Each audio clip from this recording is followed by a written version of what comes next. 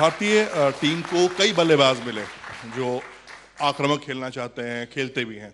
लेकिन एक सोच है विरूपाजी जो आप लेके खेलते थे, उस सोच का बल्लेबाज आपको टीम इंडिया में कोई दिख रहा है कि हाँ ये मेरे, मेरी तरह सोच रहा है?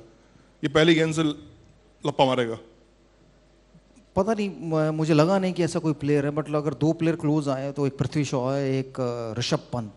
सो ऋषभ पंत जो मुझे ऐसा लगता है जैसे मैं टेस्ट मैचेस में खेलता था थोड़ा बहुत वो उसके करीब है बट वो क्या है कि वो सेटिस्फाई हो जाते हैं नब्बे सौ पे। सो मैं सेटिस्फाई होता था दो सौ ढाई सौ तीन सौ पे। तो उनको अगर वो वहाँ तक लेके जाएँगे तो और ज़्यादा एंटरटेनमेंट देंगे मुझे।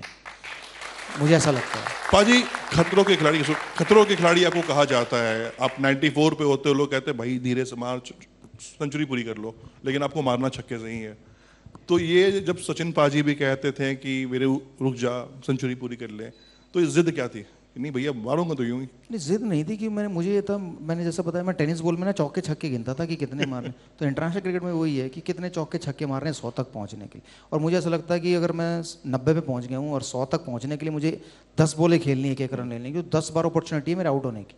बट अगर दो बॉल पर रिस्क लेके मैंने मारा तो अपॉर्चुनिटी दो ही बार तो है। सो परसेंटेज बीस परसेंट आ गया सौ से। सो बीस परसेंट चांस आउट होने के। बट लेकिन सक्सेस होने के तो पूरे पूरे चांस हैं।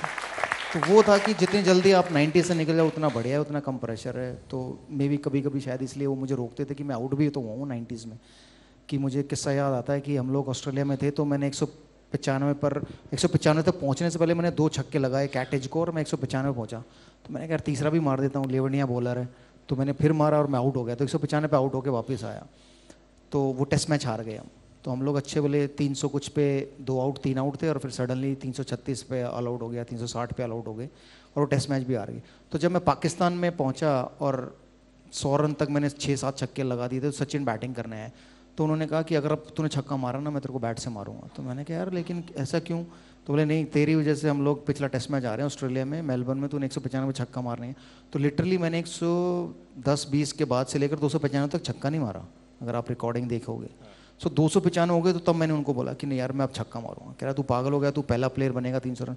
मैं कहा दो सौ पचानवे भी किसी ने नहीं बनाया मैं बन गया पहला प्लेयर सो मैं कहा मेरे बाद जो आई है वो दो सौ इक्यासी है।